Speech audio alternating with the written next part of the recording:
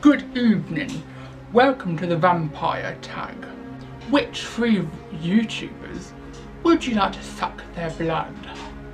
I would say Fun for Louis because he would be different flavours of spiders, snakes and kangaroo flavours because he eats different kinds of animals.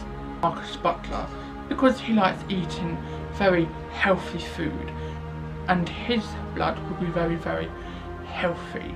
So I will like suck the blood and put it in like a little blood bank. And I will have a backup of his blood and fun for Louis and suck the blood from Jack and the Vlogs.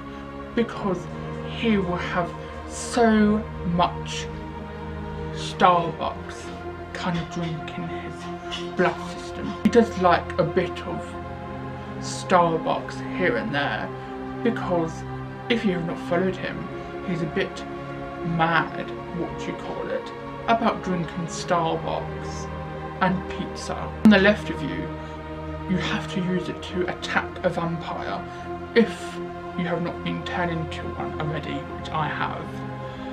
Um, which object to the left of you will you need to kill a vampire with? Left on me, I have got a bit of paper with all the questions on which I'm reading from and a pencil. So I will need to stab a vampire in the heart to kill it and then poof, it's gone into a pile of ash on the floor. What would you do if your parents become vampires?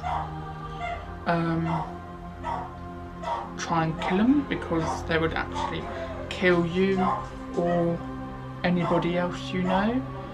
So, kill them. What would your survival plan be? I'd say go somewhere with a lot of light, like in the middle of nowhere. Maybe not because you're gonna get killed, aren't you? So, somewhere where it's all light year round, like Orkney, for example. Because Orkney does not get dark until nearly 3 o'clock in the morning. So really, you'll be fine with that. I'm going to tag in this vampire tag Marcus Butler, Jack and the Vlogs, and Guestie. Hope you enjoyed this very special Halloween video. Don't forget to give it a thumbs up. And I will see you in a new video soon.